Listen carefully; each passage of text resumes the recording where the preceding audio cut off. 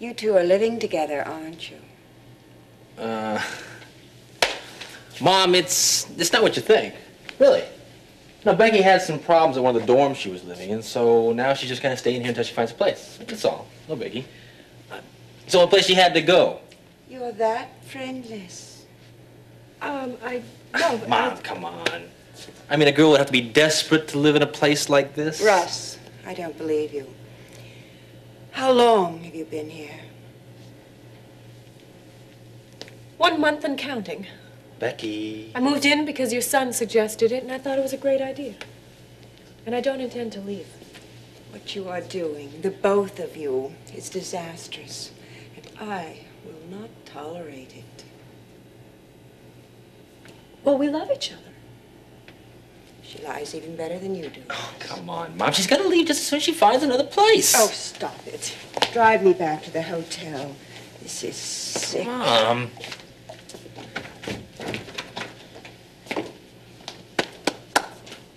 Mom, wait up. Come on.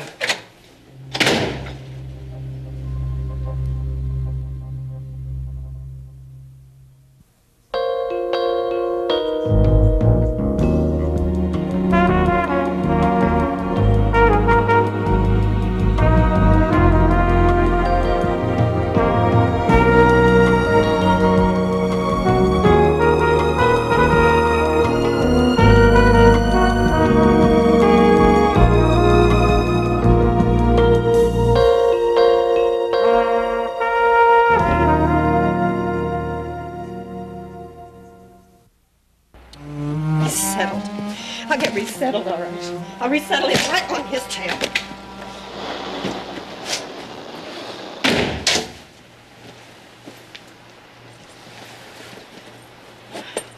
You're not going to leave me alone. That's right. I'm leaving you with Shostakovich, Chanel number five, and there's a loaf of white bread in the I mean it. You are not. Don't you touch me! Your music's probably killing these things anyway. Would you just sit down for a minute? Come on. I haven't sat down since I got in this apartment. I've been so worried that, that maybe I'm not good enough for you, or, or that you're gonna get tired of me, that. Ross, living with you has been a one crash course in neurotic anxiety. And guess what? I failed. Okay, You're not leaving. I'm not going to leave you alone. Nobody's going in.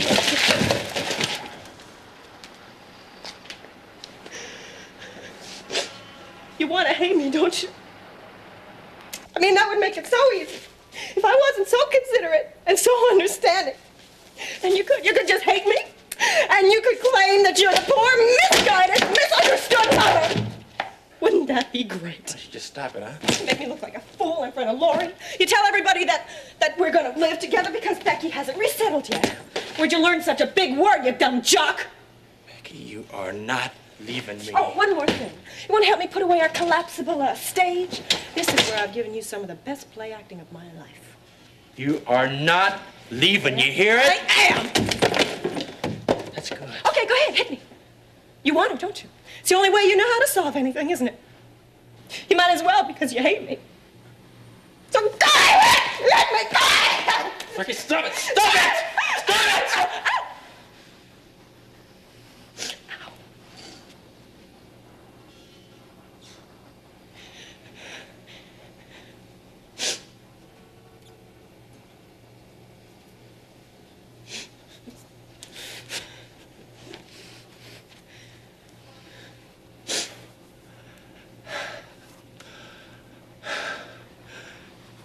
If I seem like I hate you sometimes, it's because I need you.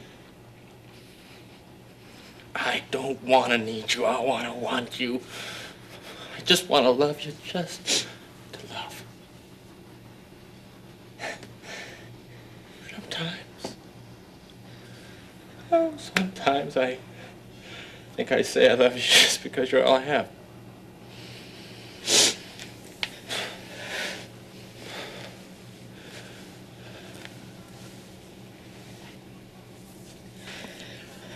Well, Mom can't accept this, then. What? What, what can I do, huh? She- She's not gonna talk. All right. So what?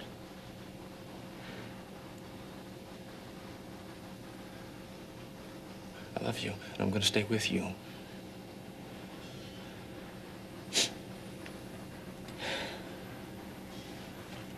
Russ, there's, there's a lot more to this than you know.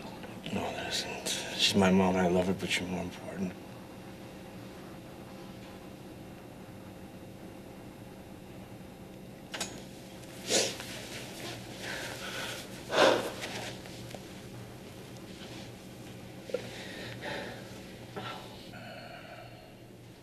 Will you look at this? Who are you kidding?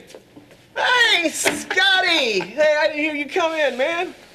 Well, your mother let me in as she was leaving. Well, then, pull up a seat there. Hey, what's this you're doing? You bringing homework now? Well, I've been doing this on my own. The less Sam has to teach me, the easier it is on the two of us. Oh, I thought I might be able to rescue you from all this. Have you thought about my offer? Yeah, I haven't thought about anything else. That's heavy stuff being the news director of a TV station. Finally, a chance to show the world how it should be done. Then you do it. No, I didn't say that. I didn't say that. Scott, TV is really a rat race. I've seen it turn well informed men and educated men into mad dogs. And you know, believe it or not, our old news director was once a nice guy. Oh, come on, Gene. That's ambition. It's in every business. It has nothing to do with television exclusively. It does. It's power. But you can handle that. Yeah, but I don't know if I can handle being surrounded by men who can't handle it. Then you don't want the job. I didn't say that. Well, what are you telling me? Oh, it's Sam, isn't it? Quit answering your own questions. You turned down a golden opportunity like this, better money, more prestige, just so you wouldn't have to leave Samantha Marshall. Scott, I don't care about the money. I don't care about the prestige. You know me better than that. Look, Jimmy's going to be in college in five years. Mm-hmm. You have a chance to be the first black news director in the state. Hey, you're pressuring me, Scotty. Are you sure you've thought enough about yes, this? yes, yes, I'm sure I thought enough about this. And it's not because of Sam. I know that I could leave that job and still see her. I know that. But she, man, she's in a bind. Between you and me, Carpenter is more than she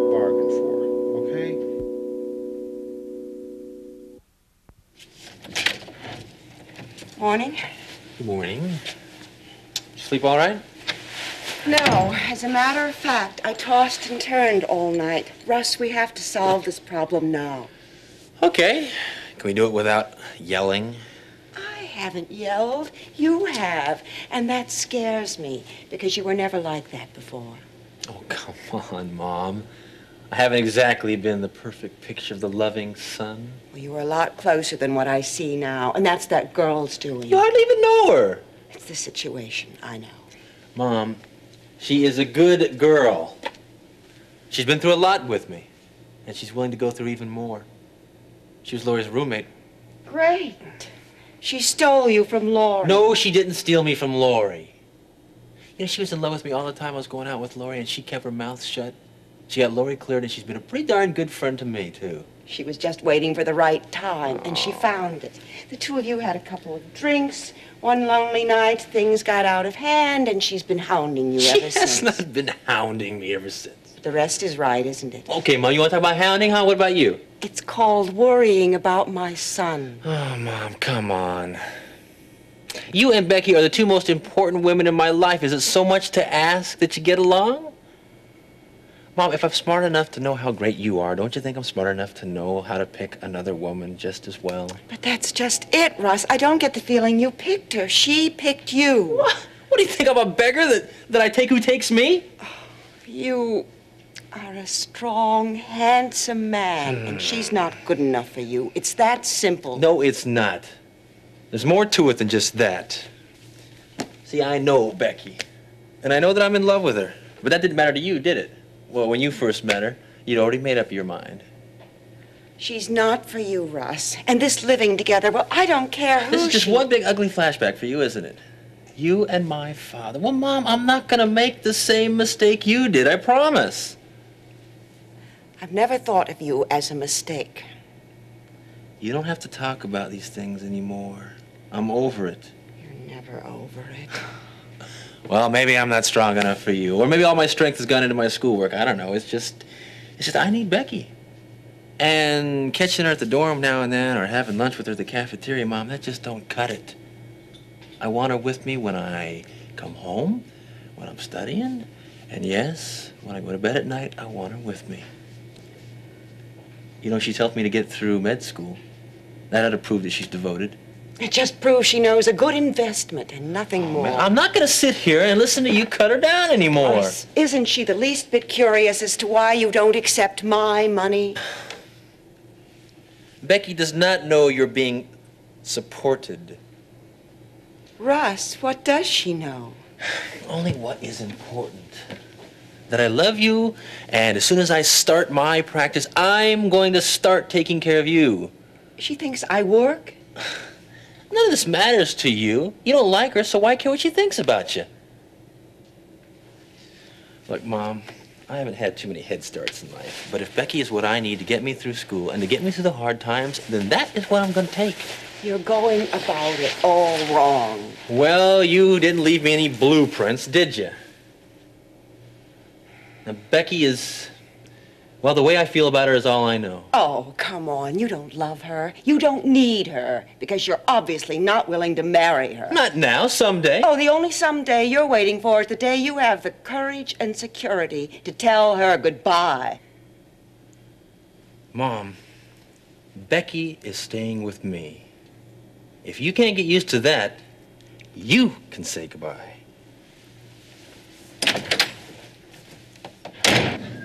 Did you see this? What's that? It's a request for the resurfacing of the parking lot and sidewalks at Hollister Square. Impossible. Carpenter's remodeling already. I mean, you don't put the sidewalks or the parking lot in there until after the construction. Well, Carpenter applied for the permit himself. He has already started. Let me see that. Let me see that. Let me see this. Add that to the already unexplainable plumbing problems, and what do you get? Harassment? Another trick to get Martin and the rest out? Well, I'll say one thing. You were right about Carpenter. Now we got him, huh? Gene, it is not our job to get anyone. You're not gonna do anything about this, Sam? There have been no complaints. Look, Martin is on his honeymoon, and the other people in Hollister Square don't know what's happening. And we're not sure either. Besides, we are not here to arbitrate. We work within the system. Well, it's time that that changed. Oh, and you're going to be around here long enough to see that it does change? I talked to Scott last night, and I turned down the job. Looks like I'm digging in here to stay. well, you make it sound like this is some kind of ditch. well, it can be sometimes, lady. You know, well, I, mean, am glad that you're staying. Yeah? Yes. Oh, well, give me a hug. Wow, I tell you.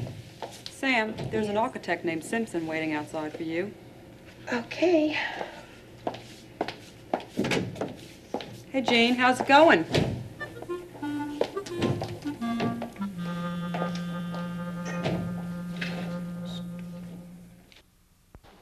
Come on. You don't want to know. Yes, I do want to know. I've been trying to figure it out all morning. She just doesn't carry herself like a cleaning lady, Russ. I'm sorry. All right. Mom has someone paying for her living expenses. I've never met him. And it's not like you think, nothing cheap. This guy just cares, that's all. Well, how long has he been uh, caring? Pretty long time now. And look, she doesn't like to talk about it, and I don't ask too many questions about it. It's a sensitive spot with Mom. Now, I made it through to Kingsley on a scholarship. And I got out of that deal with uh, Cardello, right? By myself, nobody helped me there. And I'm gonna make it through med school without a student loan, so don't you worry about anything. You mean every, everything you told me about your mother, the cleaning lady It stuff? and- solved more problems than it caused. Does that make it right? Oh, come on, don't moralize with me, Beck. You know who it is, don't you? Your mother's financial guardian. It's your father. It has to be. I've never met my father. Yes, you did. He ran out on you in grade school. I never met my father. As long as I can remember, Mom and I have lived alone. If it's any consolation, that's it. No more lies. I was going to tell you sooner or later anyway. Look, Beck, there's a lot of kids running around this campus who come from neat little two-car suburban colonial homes. Now, if I don't want any of them knowing that I that I was found on a doorstep somewhere, well, that's my choice. You were found on a doorstep? No, I wasn't found on a doorstep. I'm trying to tell you, my past wasn't quite as typical as yours.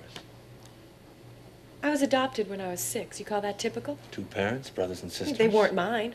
Fine, let's sit here and top each other's disadvantages. All right, all right, all right. Look, be a little understanding, okay? I mean, you're coming from out of left field with all this Becky- stuff. What do you want me to say? You don't know how much I worried about some joker coming from the old neighborhood and enrolling at Kingsley. Besides, I told most of those stories because of Miss Davidson. Russ. Okay. Okay, so who's your real father? I mean, your mother must know. Mom hardly knew him. He was killed in Korea. She didn't lose much sleep over it.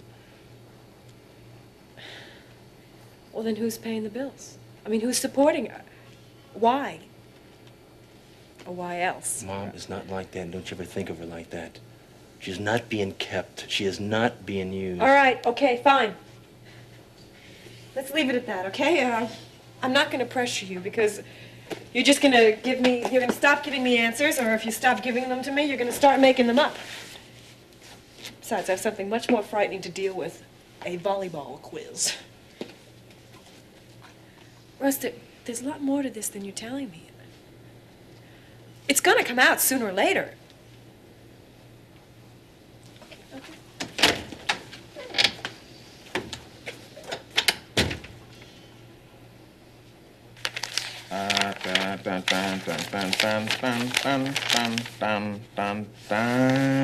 Yes.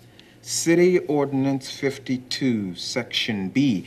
Applicant is obligated to complete the work within as short a time period as reasonably possible. Any delay causing the general public undue discomfort or distress shall be just cause for revocation of the permit. Pay dirt. Yes, indeed. Mm-hmm, mm-hmm, mm-hmm, Dear Mr. Charles Carpenter, happy holidays, turkey. What's this? You will be proud. I was doing some research on the city ordinances and I found public access lots and sidewalks. I'm sending this to Carpenter, and I also quoted the ordinance in there. I see. Jane, didn't we discuss the matter this morning? But that was before I found the ordinance, so Sam. No, the point was that it is not our business. Now, I appreciate your investigative talents, but let's use them somewhere else. But hey, hey, hey, hey, hey, but now we're for sure that he's breaking the law, so we're just gonna look the other way? We don't know that. It says in the ordinance, in as short a time period as reasonably possible. Carpenter's gonna drag that out until Martin leaves. Well, you wouldn't care one way or the other if it hadn't been for Carpenter's games with. Cardello in court. Is that what you're talking about? Yes. Yeah, well, who's gonna stop him? the IRS or the FBI, but not YOU. Now stop playing Marshal Dillon. Sam, we're supposed to be protecting the public. Well, when the public comes walking through that door, then maybe we will do something. But I will not have you using your bias against Carpenter to dictate the workloads of this office. Where do you draw the line between bias and foreseeing trouble? I told Scott that I would take this job because I'd like, pardon my nobility, but because I want to help the town. Well, just don't hold that over my head. What? Your decision to stay here. You will stay here under my conditions, or you can leave because of your own conditions. That letter does not have my authorization. Send it, and you will be dismissed. Excuse me.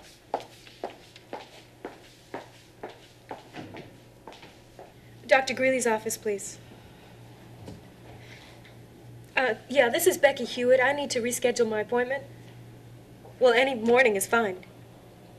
Yeah, that, that's fine. Only this time, um, Dr. Greeley will be there, right? I mean, no stand-ins or anything? Okay. All right, that, that's good, yeah. Thank you.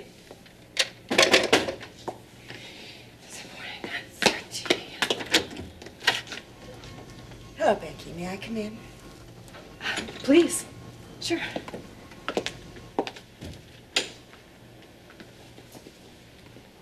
I'll come right to the point. Tell me what you want from Russ. What do you mean? What, what do I want? Becky, I told you I hate small talk. Now, please be open and honest with me, and we'll both be better off. Okay. I want his love. I never asked for anything more. Then you're asking for too much. What I'm going to say may be hard to take, but you have to know what he told me. Russ has no intention of marrying you. As a matter of fact, he's trying to find a way out of this situation right now. I'm sorry to have to be so candid, but if Russ won't level with you, I will. When did he tell you all this? This morning. He told me that you two had a quiet conversation and that you were considering our living together. Quite obviously, that's not the first lie he's told you. I don't really have anything against you personally. It's easy to see that you've been misled, as I was misled when I was your age. And I wish someone had confronted me with the facts, as I'm confronting you. Leave, Russ. Do it now. I'll explain. Russ said that he told you that he was staying here. And I believe him. And I'll tell you something else. I don't believe for one minute that Russ's real father was killed. You're the liar.